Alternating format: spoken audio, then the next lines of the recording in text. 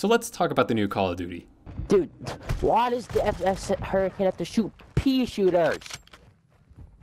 Dude, it's just piss missiles. It feels too good. No fucking points. Shut out. Y'all oh, fucking Wow. suck. But we ain't even go for the hard point Go, good go bitch. outside. What just happened?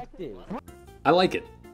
I played the beta and holy moly, it's like going back in time to the original Modern Warfare 2 on the PlayStation 3 where my brother would curb stomp me on a Rust. Now the full release of this New. game kind of maintains that same sensation. But times they are changing and boy oh boy, we sure have lived through enough depression and economic crises to reach ungodly levels of crack to video games.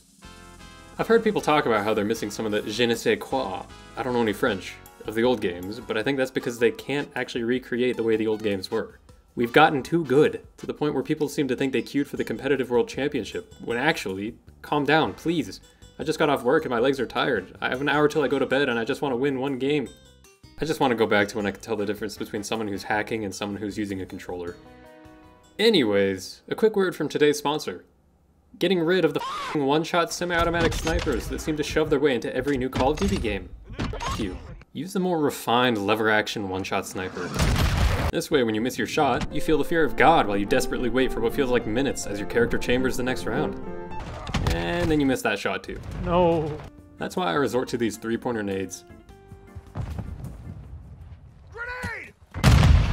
They shouldn't be nearly as effective as they are, but just randomly chucking an exploding baseball probably accounts for about a third of my kills. May I offer you a perfectly cooked fragmentation grenade? Call me Ratatouille. Tacticals are especially useful. I use these things to clear corners easy peasy. No hitches. Nothing goes wrong. Ever. I got a C in geometry. I had the idea for this video and I wrote the original script for it about a month after the game came out, but since a short time has passed, let's go ahead and revisit it and see how it's holding up. Oh no. This is not cool. I don't like where this is going. Goodbye. This game is fun. This series has fallen victim to being a yearly release and is plagued with crunch time. Here's a good video on that. So we shouldn't expect anything as good as this from them for a while. So yeah, bye.